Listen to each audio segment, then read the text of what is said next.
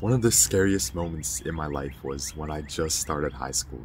I was this small little person in this massive, giant school, and I've heard about all the bullies and fights that happen. But there's this one thing that sticks out to me. It's this soccer team, and I could sign up for it if I wanted to. I remember last year in middle school, I'd always hear about these clubs and I just laugh at it. I never joined any club or something, so I figured, you know what, I'm gonna YOLO it. I had such a blast. I had so many amazing memories from my first year of school. But I really think I would not have had that fun, all those memories, if I didn't sign up for that soccer team. If I was just like how I was last year, just laughing at the fact that someone might join some club. I strongly believe that sports developed myself into the person that I am today. I'm making thousands of dollars a month online. I'm way more confident now compared to my first day of high school. So many things are going for me in the right direction. My name is Timothy. I really like sharing things that I've done in my life and giving it to you so hopefully you can think about something that I say and actually get better because of that.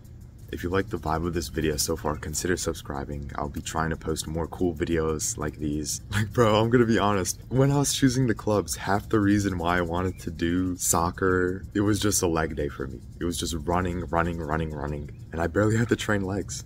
Also, the skills that are required for soccer, like dribbling the ball, game sense, and all of those things, encouraged me to break the limit of what I think is possible. Whenever I had a game, I was so scared of messing up that I would actually mess up because of that. But as I got used to the running in the game, used to playing in the games, got better as time went on. Eventually, I was getting pretty decent. I played midfield, and a few times I actually got close to scoring a goal, but I never scored a goal. Because I scored two goals. Yes, sir. But then, as the fall season ended and the first part of the school year already ended, soccer season ended as well. Now, in the winter, I just played some indoor soccer, occasional basketball and table tennis and things like that, but I never really did anything at school.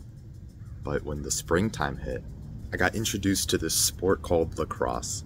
At first, I never even knew this freaking sport existed, but I'm glad I do now, because it's so freaking fun. The amount of physicality, running, stamina required for that game, respect to anyone who plays it. I thought we ran a lot in soccer, but clearly I didn't know about lacrosse. So during the spring, what happens to the weather? It rains. Quite often compared to other seasons, right? Well, when it rains, you can't go outside. And what that means is that you go inside. And what's the only really thing you can do inside at school? You can't really play a game or practice like that. What you can do is run and oh boy, we did a lot of that. So we would run up the stairs, around, down the stairs, around, up the stairs, around, down the stairs, around, over and over and over again. We had no idea when we would stop. But because I've been building up my determination and stamina and mental mindsets to get further in the race, I was actually first place.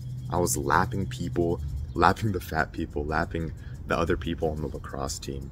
So then the coaches realize this and they make this fun challenge. So over the spring break, we were supposed to film ourselves practicing lacrosse, and if we didn't do that, then the whole team had to run five laps around the school. Two motherfrickers did not film themselves playing lacrosse, so the whole team had to run 10 laps around the school. But because the coaches realized how fast I'm running and all the stamina I had, I really don't want to glaze myself, but I just want to make it clear that as I was running around, so many people were like, Bro, how Timothy are you so fast? How are you not tired? Because I was still jumping up the stairs, stepping, skipping multiple stairs at a time, but they were just walking.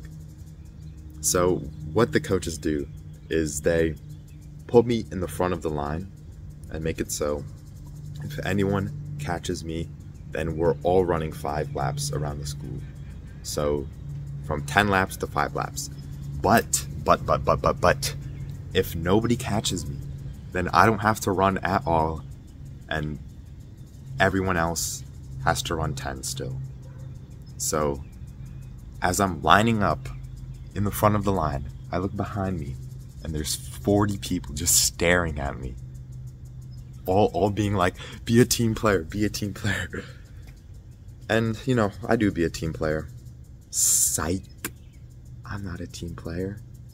I want to win. I don't want to run. Like honestly, I could run those 10 laps, but I just want to see how this will play out, you know? So I just do it. The coaches say go. I run and then open the stairs, go up the stairs, and then the coach says go again, and I just hear a bunch of elephants chasing after me.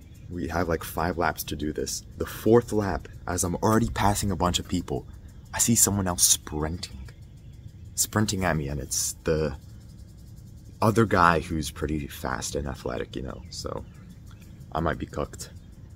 So this guy's chasing me, and this guy's literally right behind me. The coaches are yelling at me says keep on going and don't give up. So, as we're on the last hallway to the finish line, basically, I run. He's right behind me. He tries going past me, but I go in front of him, so it's way harder for him to go. And he's like trying to juke me to get in front of me, but then I just block him some more and then just sprint up, go down the stairs. I won. Let's go. I don't have to run at all. Those losers still have to run 10 laps.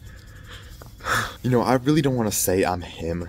You know, all those cringe people. That's such a him moment, bro. I can't even lie. Don't even get me started with the games. All the physicality, the amount of people I seen get dropped on the floor. I could honestly talk all day about the lacrosse and soccer stories that I've had, but I really feel like it's worth it because it gives you something to do at school and something to look forward to. It gives you a lot more confidence. It gives you teamwork. It makes you a lot more active and gives you free leg days all the stories you can tell, all the fun you can have, all the strength that you'll get from playing those sports mentally, physically, emotionally, all the friends you can possibly make. Because I'm playing sports, I'm able to make money because of the confidence and all the things from sports that just translate to other areas in my life. I don't really scroll, I don't relapse or do bad habits per se. And by the way, a quick thing I want to mention if you want to quit your bad habits and start living a cooler life, start making money online as well. If you want to have a strong, close group of friends, all working towards the same goals to get the amazing treasures of the ocean. I have a school of fish where I break down everything I've done to see some type of success in my life. I don't think I have all the answers, even though I laughed all those people in that indoor practice in lacrosse. I don't think I'm him but I do feel like I have a lot of knowledge on how to make money and stuff like that. So if that sounds interesting, click that School of Fish in the description. But if you don't want to get that, there is a free like minded club in the description you can get as well. I really believe sports will make school worth it and it'll make your life sick.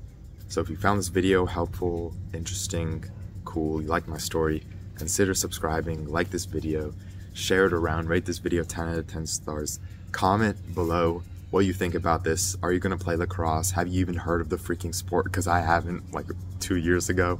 That wraps it up for this video. Hope you have a great rest of your day. I'll see you later, bro. Take care. Peace. Bye bye.